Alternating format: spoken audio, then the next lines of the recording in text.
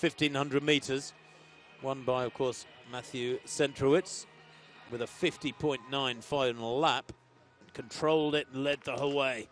Did uh, Centrowitz to take that uh, historic Olympic gold. So are they going to go with this quick pace that's been requested? It's quite breezy.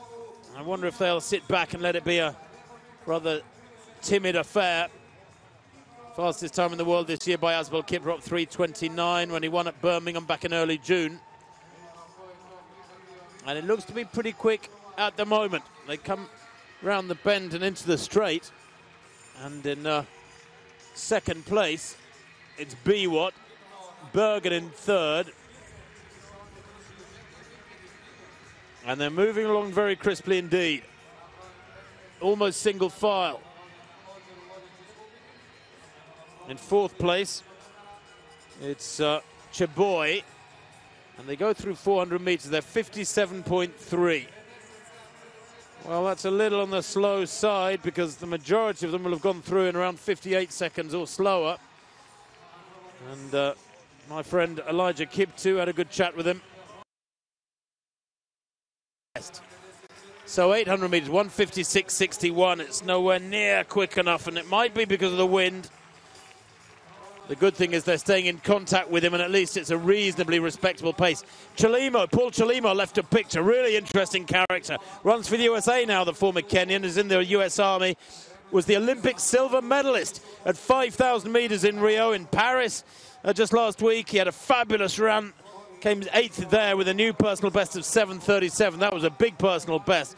He's only a 3.40 runner at his best. That was back in 2012. And surely Chelimo here is heading for a massive personal best at 1,500 metres as well as they approach the bell. It's Biwott who leads from Damani. 2.41, I got them at the bell as they head out now on this final lap. Damiani is in second place.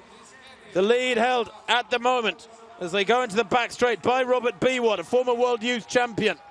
Lewandowski nicely positioned there, the 800 metre specialist. He could have the leg turnover to deal with this field, but Biwott pushing on hard out in front. Lewandowski in second place. They're queuing up now behind Biwott. Anybody there in those six in shot could take this one. Biwott running the shortest line into the home straight now. 100 metres to run. Biwott kicks again. Lewandowski of Poland and Birgen down the outside. These three well away. Cheboyed is in fourth place, but Biwott stays clear from Birgen, wins by a metre. Lewandowski in third, 337.35. In fifth place was Paul Chelimo. I reckon he was about a second down, so he will have run a big PB. His first time under 340.